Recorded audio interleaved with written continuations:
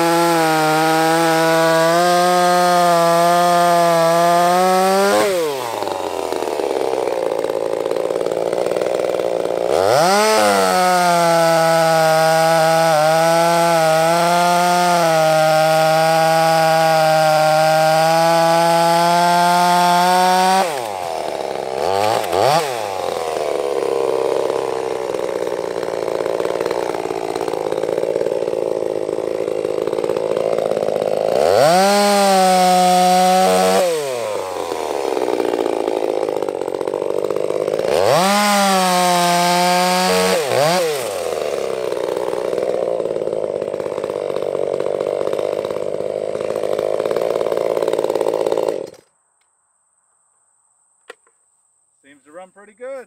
Oh, this one's got a nice pipe outlet.